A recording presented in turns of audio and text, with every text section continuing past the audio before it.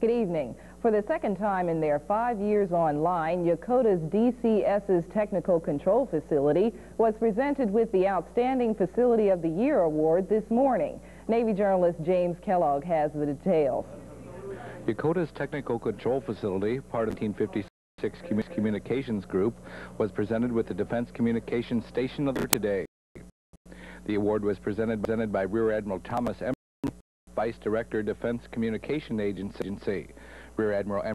praised the outstanding performance of the squadron's personnel and encouraged them to continue their hard work and dedication. Some of the criteria for receiving the award include the size of the facility, accomplishments, and performance in the areas of service and customer relations. Guam, another facility at Clark, and uh, a couple of large facilities in, in Korea. Senior Master Sergeant King also commented on the responsibilities of the station. This facility here is the second largest in the Pacific and the largest Air Force Tech Control in the Pacific, handling over 2,300 circuits that either come through this facility or terminate here at Yokota. And of those 2,300 circuits, we also have 800 subscribers that we uh, provide quality service to. Yokota's technical control facility is manned by 53 military personnel who face and accomplish all tasks as a team.